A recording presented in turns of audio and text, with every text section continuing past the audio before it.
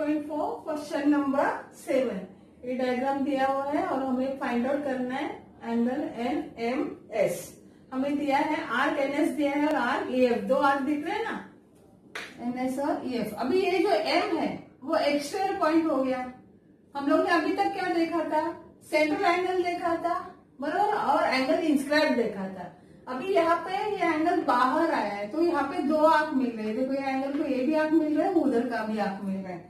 तो इसके लिए ये अभी एंगल कितना होगा तो एंगल एन एम एस कितना होगा? हाफ़ ब्रैकेट में मेजर आर्क बड़ा एंगल आर्क कौन सा एन एस है? करेक्ट माइनस उससे ये माइनस करना पड़ेगा. मेजर आर्क ये क्या है? ई e एफ़ समझ में आया? एनएमएस निकालने का है ना हमें? ये निकालने का तो दो आर्क इसका इंस्क्राइब हो रहा है यहाँ पे? इसके लिए एनएस से ये एफ़ आर माइनस करना पड़ेगा। तो angle N M S is equal to half bracket में। आर्क एनएस कितना है? 125 और ई एफ़ कितना है? 37 समझ में तो angle N M S is equal to half multiplied by अभी 125 माइनस थर्टी सेवन कितना आया? एटी एट तो एंगल एन एम एस कितना हुआ? फोर्टी फोर डिग्री ठीक है? Three point four eight question यहाँ पे हमें क्या क्या दिया देखो आर्क ए ई दिए नाइन्टी फाइव और angle A B E A B E ये जो है, वो दिया है हंड्रेड एंड एट अभी एंगल ए बी ई जो है इट हैज़ इट्स वर्टेक्स कहाँ पे है? बी का। इनसाइड सर्कल है। बराबर?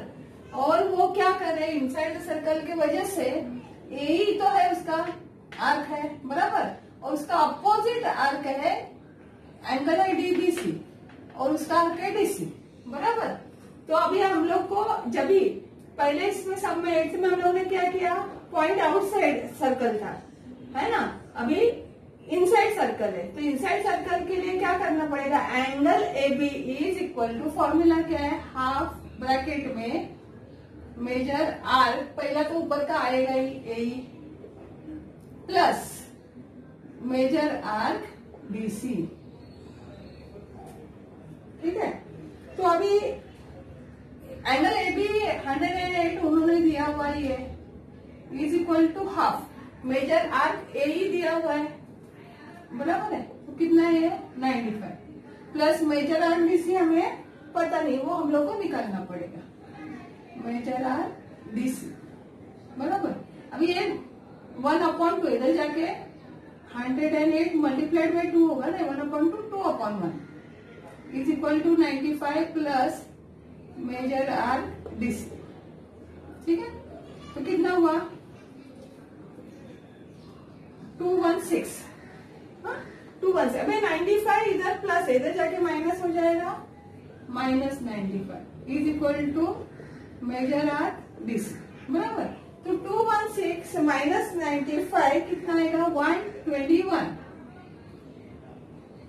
is equal to major arc DC अभी हम लोग को क्या निकालने को बोला है? मेजर आर डीसी निकालने को तो major arc DC is equal to one twenty one हो गया।